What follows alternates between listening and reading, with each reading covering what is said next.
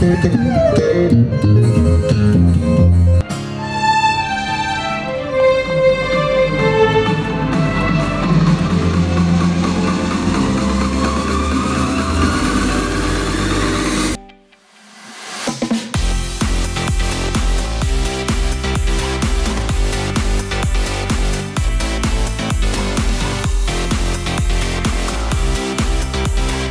きましょう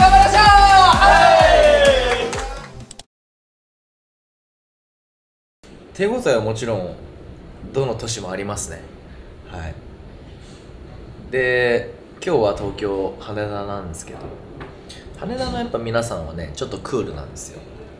ででもそれが悪いってことじゃなくてだからなんだろうなそのクールな皆さんを乗らして最後はジャンプをさせるっていうのが僕らの役目だしそれが見てて面白いですね。やっぱそのなんだろうな冷静なみんながだんだんテンションが上がっていく姿を見てて僕たちも楽しいしよかったなって思います。最初の頃の戸惑いとか緊張感もまあまあいまだにあるはあるんですけどだいぶでも落ち着いてなんか冷静になれてきたかなっていう気持ちはありますね。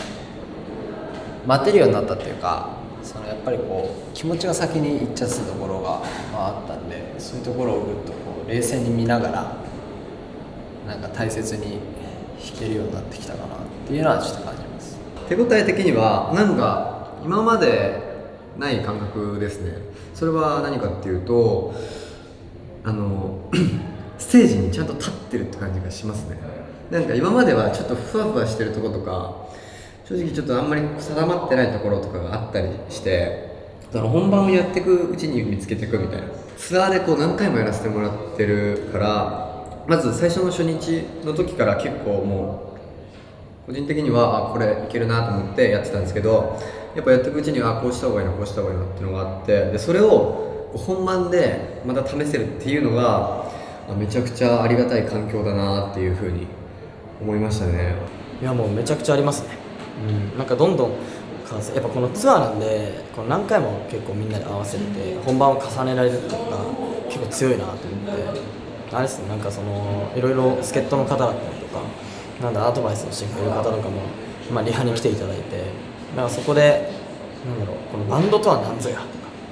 そうじゃあ一個、まあ、じゃあそうみんなの音を聞いての自分の音だよとかみんながいるからこの曲ができてるっていうのを再認識できたのでなんかその中でやりながら僕たちもみんなの自分だけじゃなくてみんなの音を聞く。それでそれ聞いた上でみんなに届けてそのお客さんに届けてでそのお客さんも一体化するっていうそういうなんか音楽としてのなんかすごい一番幸せな仕組みっていうのをなんか少しずつみんな分かってきてなんかやりながらもその目が合う回数とか、まあ、分かりやすく言うと目が合う回数とか,、まあ、なんか相手を感じてる。そういう瞬間がすごいいっぱい生まれてきてて。なんかこれはもう、うん、すごい幸せな瞬間っていうのがたくさん生まれてるなっていうのはやりながら思います。はい。セボーダでダンスも歌もバンドもまあドラムするんですけどなんかお芝居のレッスン受けてるんですよ。そのお芝居のレッスン受けてた時になんかそのいろんなキャラっていう設定でいろいろやった時になんかその結構バーって感情を表に出すやつは結構割と褒められたりするんですけどなんかクールなやつだったりとかっていうのをやった時になんかそこはもっと弾いた方がかっこいいとかなんか緩急でなんかもっと面白くなんかその表現できるんじゃないかって言われたりとかしててでそれでちょうどこのリハをしてる最中にダンスをただただ小さくするっていうよりかは、えっと、全体のその動きをそのまま縮小してミニマムにして内に入れてなんかちょっと弾いて楽しむみたいな。もっとなんか力抜いてパフォーマンスしなっていうアドバイスをいただいたんですよ。うわ待ってよ。全部同じこと言われたと思って。これすごく衝撃的で今回の夏で。なんかその表現の方法が違うだけであってダンスも歌もドラムもお芝居もなんか自分に足りないものってなんだろう？その全力でバーって出すの得意だな得意なんだなって逆に思ってなんか力を抜いてなんかもっとおしゃれにできることが多分いっぱいあるんだなっていうのはすごく自分の表現者としての幅だったりとかがなんかすごい試される今回ツアーだなっていうなんか一つできるようになったら多分全部ドラム多分これってもう萩谷圭吾人間の問題じゃないですか。ってなってくると一つできるようになると多分お芝居もダンスもドラムも多分一気に表現として上手くなりそうだなっていうのが思っててこれができるようになった。らなんかちょっとめちゃくちゃ辛いんですけど本当になんか答えが分かんないんで自分の中では本当分かんなくてやっぱりなんかちょっと抜くっていうのがなんか恐怖なんですよ。本当にこれでいいのかなみたいな。なんでなんかすごくこのツアーを通してそれをなんか得得できたらもう一つハケゲゴとしてなんか、まあ、セブンオーダーとしてもなんかステップアップできるかなって本当にすごく思いましたね。セブンオーダーとしても結構新たな挑戦がたくさんあってお客さんどんな反応なのかなっていうのが結構あったんですけど本当にやっぱりライブってお客さんと一緒に作るもんだなっていうのを毎日感じさせられるというか毎日違う公演だなってこんなにも強く感じるのは今回ですよ初めて。今までこうライブやらせていただいたりとイベントとかやった時にももちろん毎日毎日違う公演なんですけどこんなにもそのいい悪いというか違う公演になるっていうのはセモーダーとしても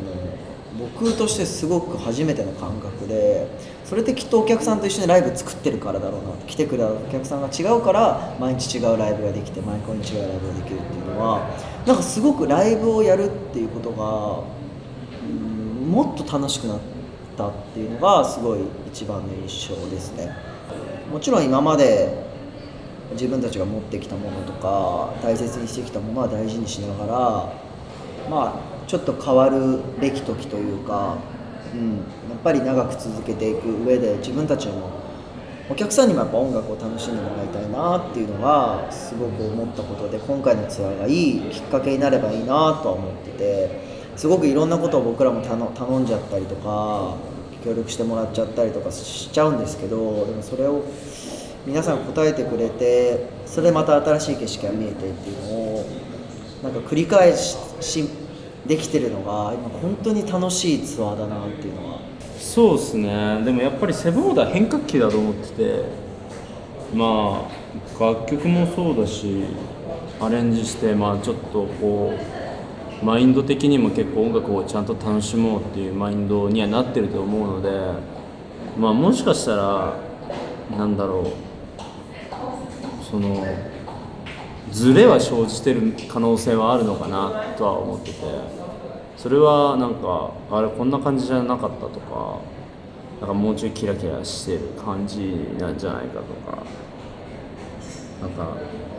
まあって思われるかもしれないんですけどまあ俺はこのセブンオーダーすごく好きでなんかみんながちゃんとその空間を必死に楽しもうとかいいものを作ろうと思ってやってる空間だから、まあ、そういった意味でもなんかあのもし期待と違ったら本当にごめんなさいとは思うけど俺は好きなセブンオーダーなんですよね。だから、まあ、皆さんもこういう感じに慣れてもらえたらなんかそれはそれで楽しんでもらえるのかなと思うので。やっぱり、歌って踊るだけじゃ他と一緒になっちゃうなってところはあるんでそのもちろんバンド僕たちの強みはバンド演奏もできるってところで僕たちを初めて見る人とかもそのあこんなことできるんだとか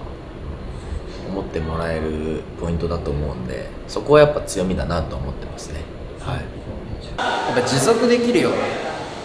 うんなんかエネルギーをこう作っていけたらいいなと思ってて。そのやっぱりまあいつもねステージに立てる当たり前に立てる状況ではないのも分かってるんですけどやっぱりこのこういう力とか楽しい人生を豊かにしていくようなエネルギーをこう作ってその時にこう爆発するんじゃなくてそれを持ち帰ってこう自分の人生にとって大切なものになっていってそれがまた来年再来年っていう気持ちにつながるようななんかそういった思いでやってはいます。もう当たり前じゃないと思うんですよ。今のこの状況って。あの忘れちゃいけないと思っててそれは。私なんかまあなんて言うんだろう。やっぱり皆さんの支え合ってここまで来れてるから。だけどそれはなんだろう。俺からするとすごい大切なことなんだけど大切なことで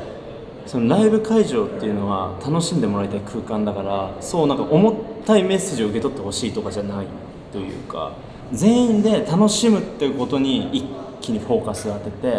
まあ、それがもしかしたら一番の武者修行なのかもしれないしでもなんかこうやって目が合うことが増えたりとか音楽として向き合ってるっていうことが多分楽しむためのなんか非日常感につながってると思っててやっぱ俺らが一番楽しんでないとお客さんも楽しめないと思うんですよ。だからなんかそういう意味でも俺はもうただその当たり前のことを続けることによって楽しむ準備をしてるというか。声出せなくてもライブって楽しいんだよってことをなんかお伝えできたらいいなって思いますね、まあ、出せるのがまあ一番楽しいんですけど出せないからこそできることとかそのだったらじゃあもうちょっと手を叩いてみようかなとかなんかそういう方向にこう行くことで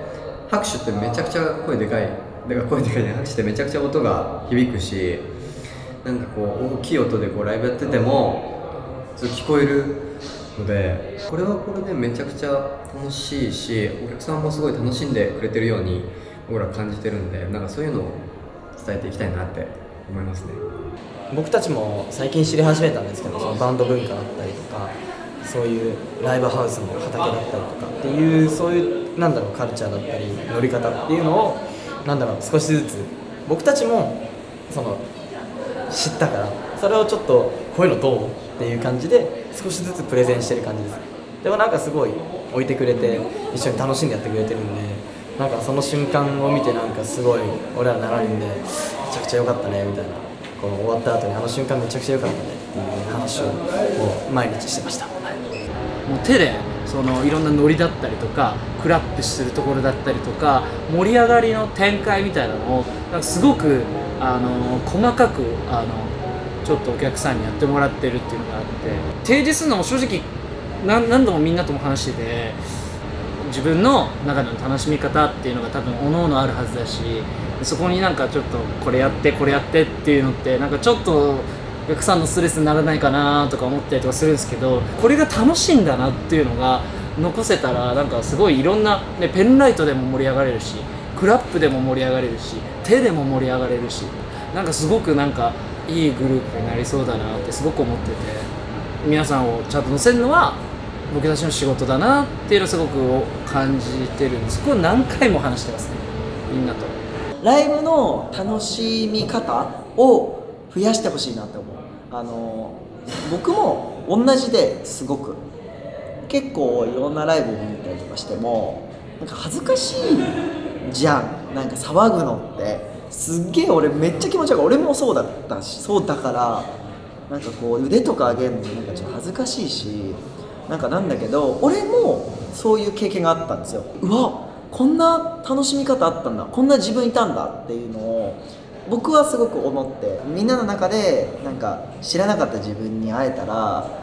それのそれのライブがセブンオーナーだったらすげえ嬉しいなと思ってなんかそういうふうになんかみんなで新しい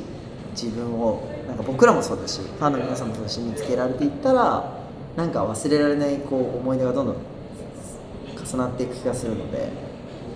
なんかそういう関係になれたら嬉しいなって勝手に一方的には思っちゃいますね、うん。みんなが楽しそうにしてくれるのがね一番僕らのテンションが上がるの。はこれ本当で、うん。もちろん楽しそうにしてくれてるんだろうけどあの好きって言わないと分かんないのと同じスタイルであの結構本当にねこうボディアクションみたいなのがあると本当俺ら勇気づけられてもちろんそれぞれの見方があるから全然あれなんだけどでもそういうなんか風に見てくれたりとかすると僕らもすごいテンション上がってなんかよりいいライブ、うん、もっとやろうもっとやろうっていう感じがこう積み重なっていく時間がこの1時間半ライブの1時間半だなっていう感じがするので